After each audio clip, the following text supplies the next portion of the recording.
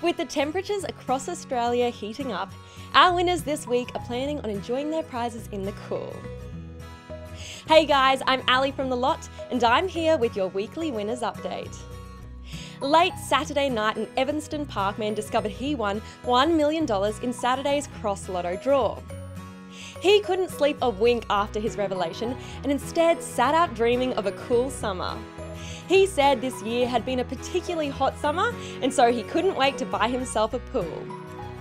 A Pomona retiree was also keen to escape the summer heat after winning $10,000 on an Instant Scratch-Its ticket. She said it has been so hot, and so all she's been wanting to do is save up some money to buy herself a car with aircon. After discovering she'd won, she went straight to the car yard to make that dream a reality. Meanwhile, a Manly woman who won $200,000 in a recent Lucky Lotteries mega jackpot draw is keen to relax and spend her days by the cool water. She absolutely loves cruises and is already planning which one to go on. How would you enjoy your prize if you won during these hot summer months? If you want a share of this weekend's $30 million Saturday Lotto Mega Draw, you could really go and do whatever you please. Imagine entering 2020 as a millionaire. It would be a year you'd never forget.